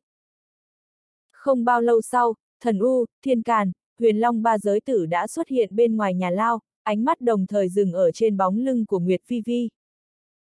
Không thể không nói cho dù là một tù nhân thì nữ tử trước mắt này cũng có khí chất vượt xa người bình thường khác, chỉ là một bóng lưng thôi đã có thể khiến cho người ta sinh lòng thương tiếc. Trong đó, ánh mắt của thần U là tham lam nhất, hồi lâu, hắn ta mở miệng nói, Vi Vi cô nương, cô vẫn không chịu nói cho chúng ta lai lịch của mình sao. Nữ tử yên lặng, quay lưng lại với ba người, giống như trước đây không hề có ý định trả lời câu hỏi của bọn họ. Ba người có mắt nhìn siêu phàm, từ lâu đã nhìn ra lai lịch của Nguyệt Vi Vi không đơn giản, vẫn luôn muốn biết về thân phận thật sự của nàng ta. Đáng tiếc đây là con đường thông thiên, rất nhiều thông tin không tiện được truyền đến đây, đối phương nếu như không nói thì sẽ không có cách nào để biết được. Chúng ta không có ý định đối địch với cô, chỉ cần mở phong ấn ra, giao lại quả thần huyết. Những ân oán trước đây đều có thể xóa bỏ, không truy cứu nữa. Giới tử thần U dùng giọng bình thản, từ tốn nói. Audio điện tử võ tấn bền. Hết tập 138